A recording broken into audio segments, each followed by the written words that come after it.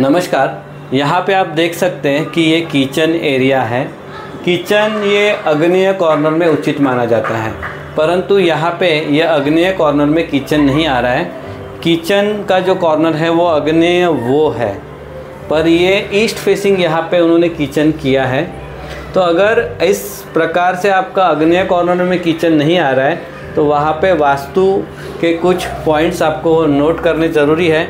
यहाँ पे आप आ सकते हैं। ये अग्नेय कॉर्नर है। अग्नेय कॉर्नर में किचन नहीं आ रहा है। तो हम क्या कर रहे हैं? यहाँ पे रेड कलर का ये कुशन दिया गया है। अग्नि तत्व को जो पॉजिटिविटी लाता है। रेड कलर का यहाँ पे एक पेंटिंग यहाँ पे दिख रहा है आपको कि एक रेड कलर का पेंटिंग लिया गया है, जिससे अग्नि तत्व प्रज्वलित हो पॉजिटिविटी आए।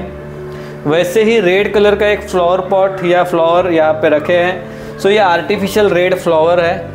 कि आर्टिफिशियल रेड फ्लावर जिसको काटे नहीं हैं तो ऐसे फ्लावर रखने से अग्नेय कॉर्नर में पॉजिटिविटी आ रही है। कभी कभी आपको दिखा जाता है कि अगर अग्नेय कॉर्नर में टॉयलेट बाथरूम आ रहा है या अग्नेय कॉर्नर में अगर पानी आ रहा है तो वहाँ पे रेड कलर का लाइट या रेड कलर का बल्ब जलाया जाता है। पर इस सिचुएशन में यहाँ पे लिविंग एरिया है तो लिविंग एरिया अग्नेय कॉर्नर में आ रहा है। उस सिचुएशन में रेड कलर का पेंटिंग लगाना उचित माना जाता है, जिससे वहाँ पे एनर्जी वॉर्म एनर्जी जो है वो बनी रहती है। अगर आपने ये रेड कलर का कुशन भी लिया है तो अग्नि या कॉर्नर प्रज्वलित रहने से वो भी पॉजिटिविटी हमेशा बनी रहती है। तो ये सारी चीज़ें आप देख सकते हैं कि पॉजिटिविटी अट्रैक्ट करने के लिए लगाई गई है।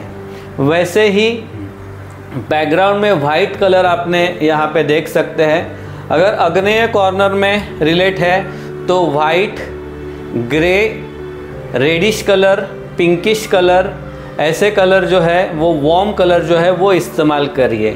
अगर आपका अग्नेय कॉर्नर है और वहाँ पे आपने ग्रीन कलर या ब्लू कलर इस्तेमाल किया है तो वो अनुचित माना जाएगा। जैसे अगर अग्नि के साथ पानी, यानी कि जल का कलर जो है, वो पानी का कलर जो है, वो ब्लू है। सो ब्लू कलर शीत कलर में आता है तो वो शनि का भी है।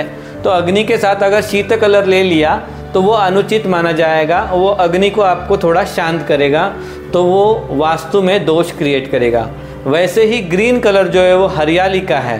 अग्नि और हरियाली, ये हरियाली जो है वो भी शीत कलर में आती है।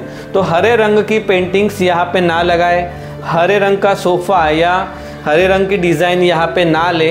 अग्नि कॉर्नर में रेडिश येलोइश पिंकिश जो वार्म कलर है शॉर्टकट में आपको बताता हूँ, जो भी एनर्जी सूर्य के किरणों से आने वाले रंग में होती है, वही कलर इस्तेमाल करें इस कॉर्नर में। सूर्य के किरणों से आने वाले रंग कौन से है? ग्रीन आता है क्या? तो नहीं आता। सूर्य से किरणों से ब्लू आता है क्या? तो नहीं आता।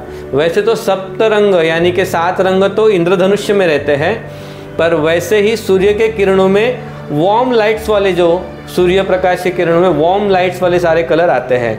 तो रेडिश कलर के टोन में जितने भी कलर आ रहे हैं, वो कलर यहाँ पे इस्तेमाल कीजिए, जो आपको अभी महसूस हो रहा है। क्रीम है ब्राउन है, या चॉकलेटी जितने भी कलर है येलोइश टोन कलर है यहाँ पे।